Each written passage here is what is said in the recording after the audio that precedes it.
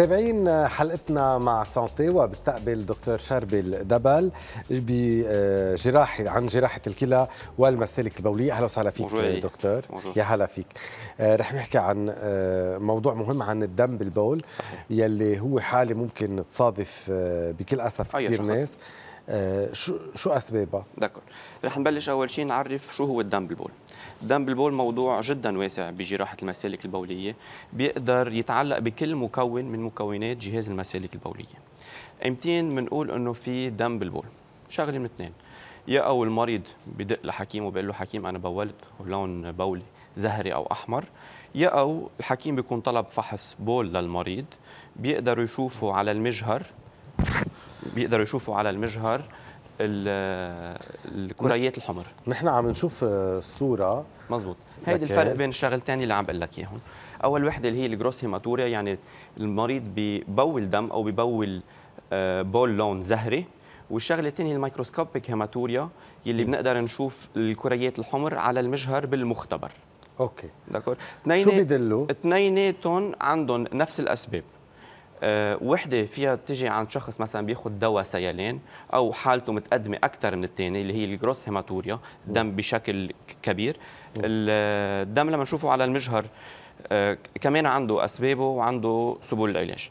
أه مثل ما قلنا بالأول إنه فيها فيه هالموضوع يتعلق بكل مكونات جهاز المسالك البوليه رح نبلش آه، بالمكون الأساسي لجهاز المسالك البوليه هو الكلوة. في عنا الكلوة في عنا مجرى الكلوة في عنا ال- البلادر أو المثانة وتحتها في عنا البروستات عند الرجال. المشاكل الدم اللي بيتعلقوا بالكلوة آه، الأكثر شيء بنشوفهم هن مشاكل البحص بالكلوة. مم. بحصة إذا قاعدة بقلب الكلوة ما رح تعمل أي شيء بنكتشفها من خلال صورة. أما البحصة لما تنزل بمجرى الكلوة رح تعمل كريزة بحص تترافق مع وجع ودم بالبول. الالتهابات كمان بيقدروا يؤدوا لدم بالبول التهابات الكلوة بتترافق مع حرارة ألم بالكلوة ودم. وآخر شغلة بالنسبة للكلى بتتعلق بالتروما يعني الأشخاص إذا أكلوا ضربة ممكن يصير في عنا دم بالبول نتيجة آه، خزق صغير بغشاء تبع ال- الكلوة. ال- بنرجع بننتقل من بعدها لمجرى الكلوة. آه، سببين يا أو بحصه مثل ما قلنا بس ما بتقطع بلا ما نعرف يعني بده يكون في وجع مؤلم جدا اللي هي عم نشوفها بالصورة اللي فوق على اليمين. آه، والشغلة آه، الثانية اللي بمجرى الكلوة هي لما يكون في تواليل عند المدخنين أكثر شيء بنشوفها نرجع رح ننتقل على المبوله هيدي عم نشوف هون ال kidney cancer. kidney cancer هي حالة فيها تحصل عند الأشخاص المتقدمين بالعمر أكثر شيء كمان المدخنين. آه، بتصير تربى تلولة أو كتلة على الكلوة شوي شوي مع الوقت ما نقدر نكتشفها من خلال بروز دم بالبول. هيدي بشكل عام ال- الأسباب العامة. بعد في شغلة بدنا نحكي عنها تفضل. اللي هي المبولة اللي هي أكثر شيء كمان فيها تشكلنا مشاكل. آه، مشاكل من وراء التواليل المبولة. عامل الخطورة الأساسي بمشكلة الدم بالبول هو التدخين. التدخين هو المسرطن رقم واحد للمبولة.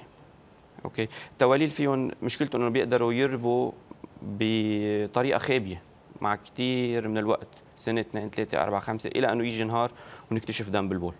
مريض ببول دم نعمل صورة صوتية بنكتشف إنه في تلولة بالمبولة.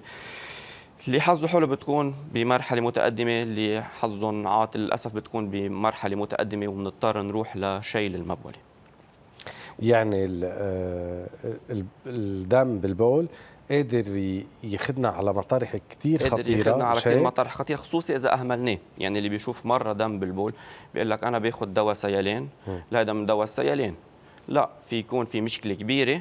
دواء السيلان نزل دم أكثر من العادة وهذه المشكلة إذا تركناها بصير في طيب مضاعفات دكتور. هل هالحالات هي أكثر عند الذكور من الإناث ولا؟ حسب مثلا مشاكل الالتهابات المثانه ال- عند النساء أكثر من الرجال مم. اللي هي بيصير في صعوبة بالتبول حريق بالبول ألم بالمبولة بس ما بيصير في حرارة.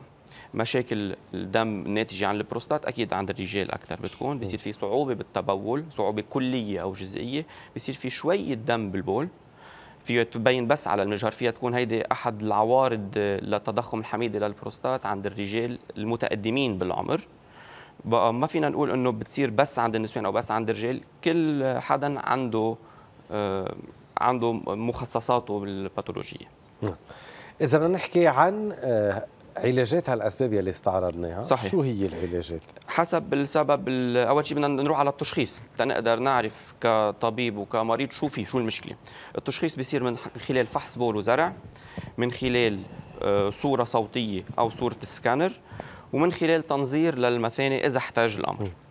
آه، مر إذا بين معنا شو المشكلة هل هي التهاب من خلال زرع البول؟ العلاج بيكون antibiotic إذا كان في عندنا مشكلة بالكلوة اللي هي بحصة إذا بحصة قاعدة وخابية فينا نعالجها كما إنه فينا نتركها لحديث ما تعمل كريزه ونشتغل فيها.